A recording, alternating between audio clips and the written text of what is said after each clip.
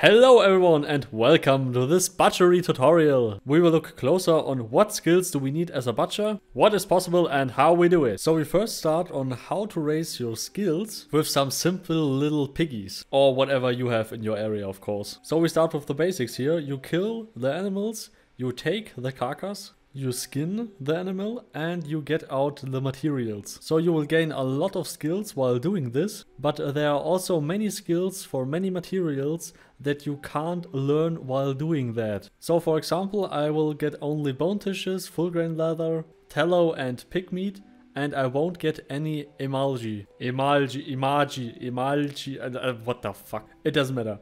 But you get this out of um, the pigs if you use that at the butchery table. Then you can also learn a few more skills, a few more materials. But please also consider that um, you can't, for example, learn Iron Bone if you want to butcher Razorbacks. You need the Iron Bone lore book for that and you need to um, read it first. But something like Molarium, you can get out Molarium out of the butcher table without reading the Molarium book first. But uh, this is also for many other skills like uh, Creepite, for example and many other materials. So if you want to be safe, just um, buy all the lore books first, read all the lore books, because later at release and at persistence um, you won't get so much carcass out of uh, these animals I guess. And uh, the skill grinding will be a pain in the ass, and you don't want to waste um, um hundred uh, of carcass and um, uh, 100 stacks of carcass just to level up your skills uh, a few points.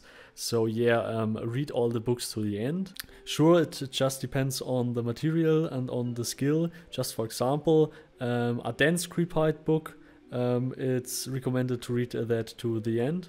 But uh, something like bone tissues or something like um, every animal have, um, yeah, you don't need to read that to the end. But later the book reading speed will also be very slow, so for some materials you need even days and something like that. And now pray for me little piggies in my uh, Praise the Sun pose. Best emote ever. And another good example of uh, even increasing your skills further in some material lores or even the zoology lore. Yeah, you need the zoology lore too. Get the cooking skill it doesn't matter, you can even have this skill on one point or something like that, it doesn't matter. And you skinned your animal or you butchered your animal and you throw all this uh, just in the cooking. So open your cooking window by just clicking the icon in your hotbar, if you have placed it in the hotbar of course. And no, you don't need a campfire or anything like that. Just uh, throw everything in there that you want to skill. Just cook it and your skill will increase. Okay, yeah, all my skills are 100 for that. Um, but um, yeah, if my... Uh, uh, skill for bone tissues wouldn't be 100 right now, um, um, then uh, it would have gained a few points. And yeah, I would not recommend eating this at all. It is poisonous, but it has good mana nourishment. And that's a little bit strange. Okay, anyway, let's move on to the skills. Okay, so here, just for example, I included also the armor crafter because it just makes the most sense to combine that with the butcher, for example. Okay, first off, we have animal materials. Yeah, every butcher needs that, of course. And then we have armor crafting. Yeah, it's optional, but um, yeah, it makes the most sense if you combine this. Sure, you can also combine the butcher with many other professions.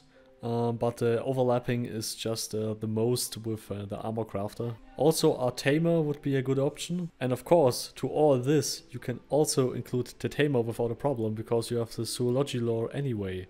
Then I took Arthropoda. Yeah, you can use many other zoology skills, I will show them later. It just depends on what animals do you want to butcher. Arthropoda are uh, spiders and some other things, but um, it's mainly for silk, for example, and silk is a good uh, second material for armors. Butchery appliances, yeah, that is also needed in order to use the butcher bank to get out uh, the good materials, like for example uh, Molarium, iron silk and so on. Laminated armor crafting, yeah, for full armor crafter you need all these armor crafting skills. I will skip uh, these now. Then we have Mammalia, that is also a zoology lore for uh, the normal mammals, like um, springboks, pigs and all the stuff. And yeah, every animal has its subcategory, its secondary skill under um, some of the zoology skills. So if you have Mammalia, no, you don't have the zoology lore for that specific animal, you have to train these separate. And that means if you want to increase your skill in horses, for example, which is also Mammalia, and the subcategory is Pegasophare, I, I think. I don't remember it correctly, it's so many years, but I think the Mulva skill was Keratomorpha.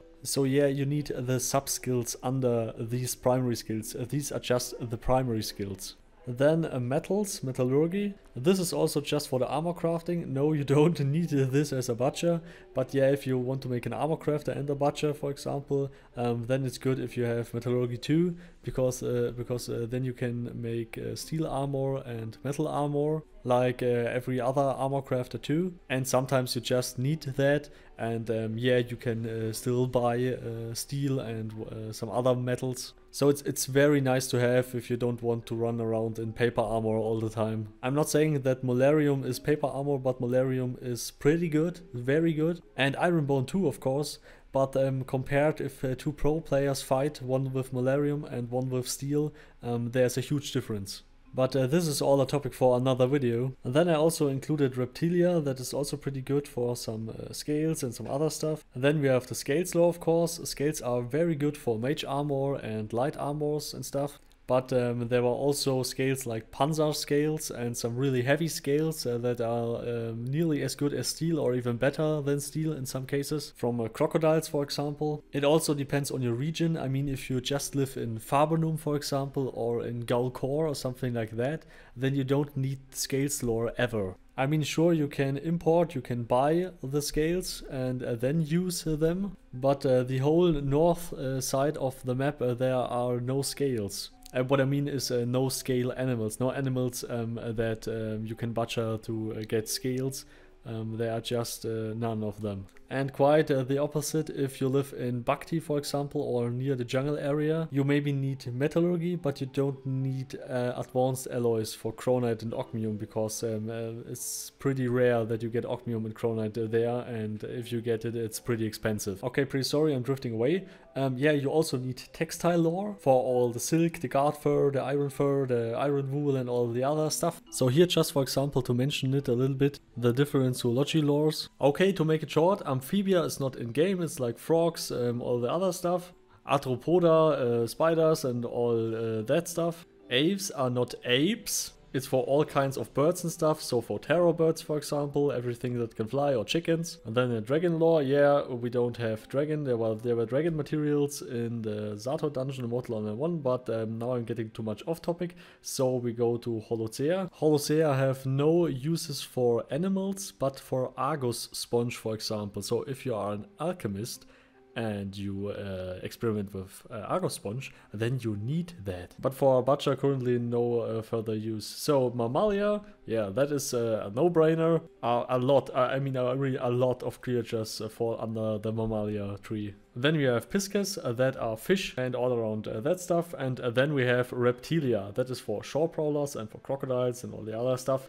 So yeah, if you're a solo player, for example, you I think you really need butchery, of course. If you are a PvE player and just a farmer and a gold maker and a crafter and a trader, um, then I also think you need uh, the butchery tree. It is uh, the very baseline for the game in general. And I really recommend to have at least uh, one guy in your group um, that uh, can butcher uh, stuff. And even if you don't have a butcher, you can uh, still level up all the skills you need and uh, then just drop the primary skills because the primary skills can get uh, retrained pretty easily very fast. So you could for example make a butcher for a longer time, hoard materials and stuff in your bank, then uh, skill some other stuff and if you want to be a butcher again for a short period of time, that is no problem. Because you won't lose the secondary skills and, and you won't use the skill points in your secondary skills. So you just have to skill the primary skills again. So no problem here. So I hope it uh, helped you a little bit. So special thanks to my Patreon supporters,